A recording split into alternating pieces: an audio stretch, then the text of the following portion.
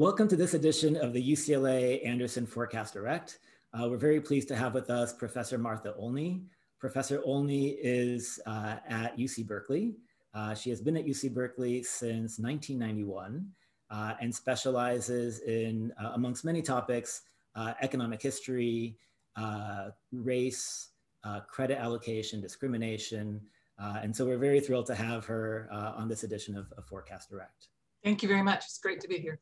So Professor Olney, we wanted to start off with some questions comparing the 1920s, since you're an economic historian, with what this next decade uh, might be like.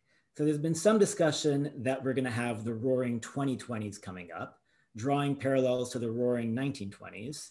And I wanted to get a sense from you, what were the 1920s like economically and socially? So, so it's an interesting uh, question to think about the parallels. And because what, what immediately comes to my mind as somebody who, when I studied the 1920s, I was really focused on consumer spending. And, and the piece of consumer spending that I was focused on was particularly household spending for durable goods. So cars, appliances, furniture, jewelry, those sorts of things. And the role of installment credit in making a boom in consumer durables possible. So when I very first started my, my work for my dissertation, this is eons ago, um, uh, you know, I was, in econ speak, I was looking to see was there a shift in demand mm-hmm. um, for durable goods, or was it just a movement along an existing demand curve? And um, uh, and that led me down a long path, uh, which got me to the conclusion of it was a shift in demand, and it was a shift in demand that was facilitated in large part by increased availability of consumer credit, primarily in the 1920s in the form of installment credit. So Credit cards don't come along until the 1950s.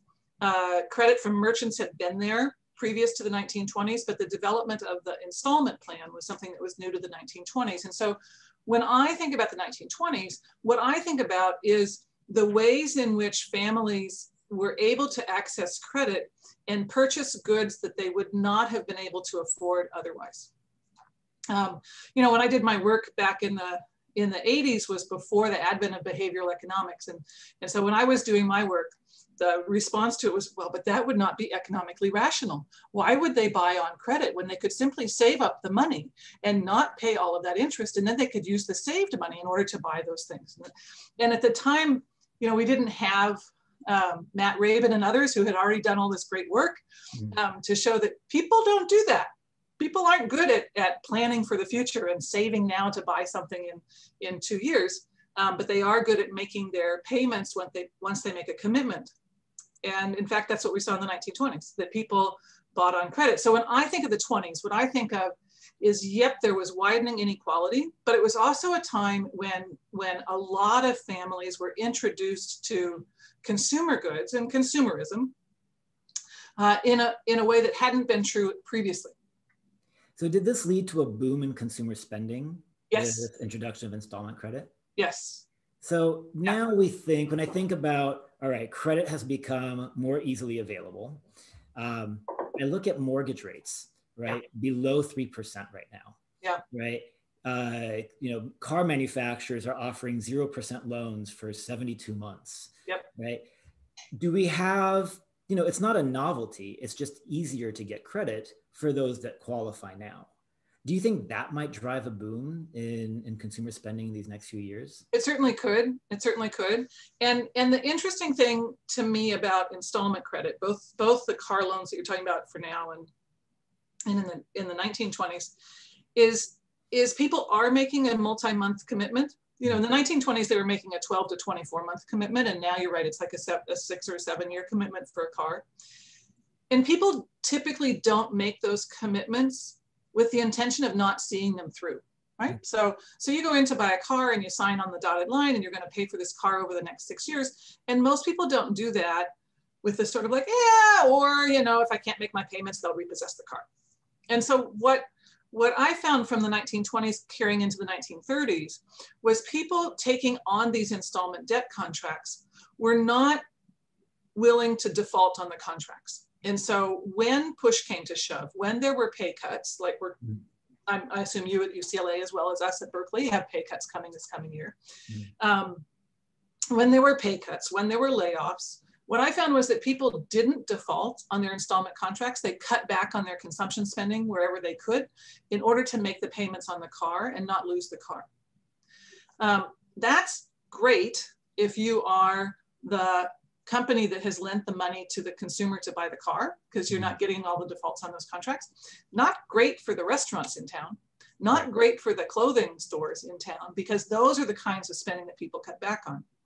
When we had the 2008 crisis, and we had so many people who had become heavily indebted, both in mortgages and also in home equity lines. In that case, if you defaulted on that home equity line of credit, you lost your house.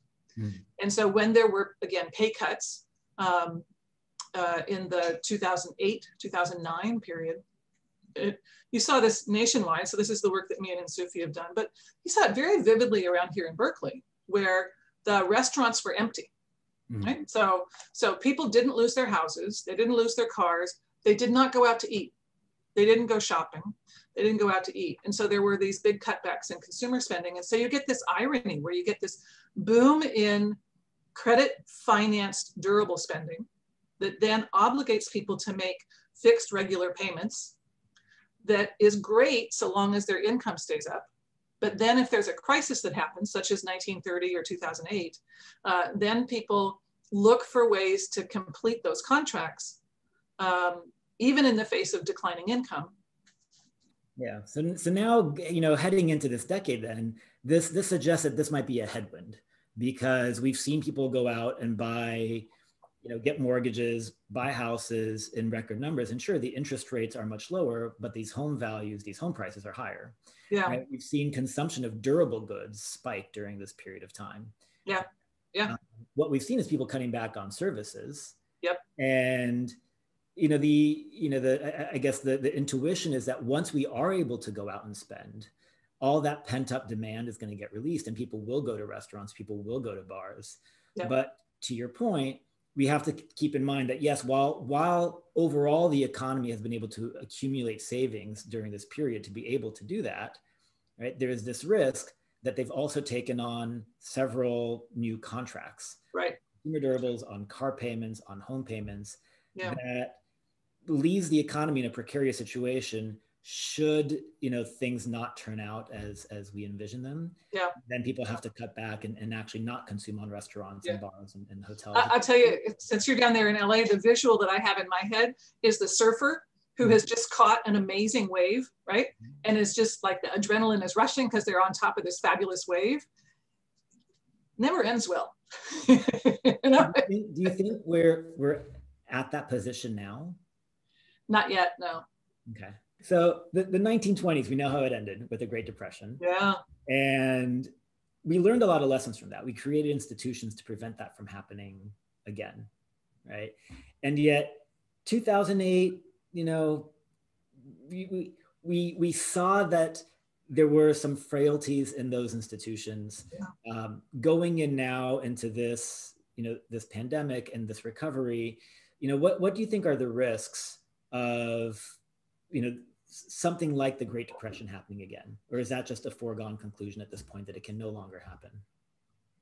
Um, we did put some measures in place in the 1930s to try to prevent this from happening again, and then over time we weakened those. Right. Mm-hmm. So, so some of the a lot of the banking reforms, for instance. The other thing that uh, I have thought about a lot is the changes in what we produce over the last hundred years or so, and the impact of that on on the pace of recovery from recession. Mm-hmm. So um, uh, I have some work with, with Aaron Pacitti where we looked at um, the rise of services in the United States and how the rise of services has lengthened recovery from a recession mm-hmm. once you control for the depth and the, and the um, length of the downturn. And uh, the estimates that we had are that recoveries today are 40% longer uh, than they were if we had if we had today the mix of goods and services that existed half a century ago, um, re recoveries would be 40% shorter. When we have a goods-based economy, and I'll tell you this, thinking about this, the evolution of this idea in my head really came from teaching macro for years to, to undergraduates and telling the classic sort of Keynesian story about how do recoveries happen. And and there was always the stories that we told have always been stories based on a goods-based economy.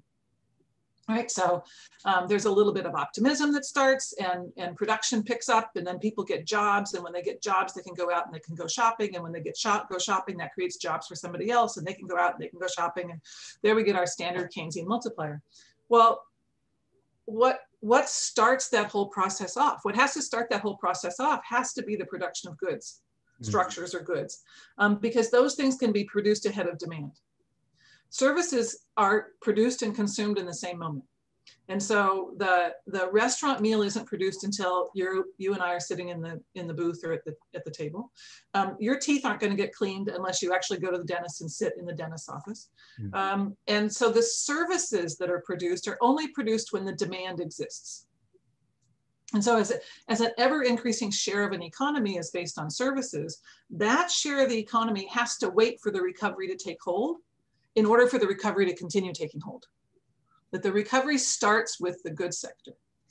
Do you think this time is different because of the that's an see that's an interesting question right so if if this recession is different because what happens is when people when the the lockdowns end mm-hmm. and this is where this is where it's interesting to think about is this going to be a moment or is it you know fauci has talked about how the end of the pandemic, it's not going to be a moment. It's, it's going to be a, a phased in thing. So, so is the issue that, is there going to be a time when they say, okay, great, everybody, you can go back to restaurants now. And then everybody goes to restaurants and then the multiplier kicks off and voila, we're good. Mm. Um, or is there going to be a time when the current California lockdown ends because we get less usage of our ICU beds, and you could go back to restaurants, and some restaurants open and some don't, and and some people get vaccinated, and more people get vaccinated, and then more people go to the restaurants, but but and then the jobs get created. Could be it could be that that that the decline in services demand this time has not been income driven, mm-hmm. but has been regulation driven, I guess is the way to say it. I hate to well, say regulation that. and fear, you know. Yeah, yeah, pandemic driven, yeah. Um, one way or another. So it could it could make a difference. But it, it's interesting to just um, I've got some just so I made sure I did my numbers right when I talked to you. Printed out some things in the in the U.S. economy today. Over 60% of what we produce are services. If you take shares of GDP, and over um, I believe it's over 80% of jobs are service producing jobs. Um, about 30% of what we produce are goods and about 10% of what we produce are structures. If you compare that with say the um, 1950s, in the 1950s, uh, about 50% um, of what we produced was goods instead of 30% today. About 40% of what we produced was services instead of 60% today. And again, about 10% was structures. So the, the structures part doesn't really change. It's the switch between goods and services. And so that's that's another, in addition to the the, the lessons from the 20s, this is another piece that's in my head and thinking about and, and as to how this post-pandemic recovery might unfold. Do you think that we are at a different structural point of our economy where we won't be able to sustain you know, continued three, four percent growth per year, the way that we had, you know, uh, after the 1930s, after coming out of the Great Depression? Yes. Yes. Um, I do, and I and I think that um, again because of this rise of services, and and the gains in productivity and services just aren't as possible as gains in productivity and goods manufacturing. Mm-hmm. And when you look at the productivity growth rates over the last 50 years and, and break it out by growth in productivity in goods manufacturing versus growth in productivity in service production. They don't talk about service manufacturing, service production.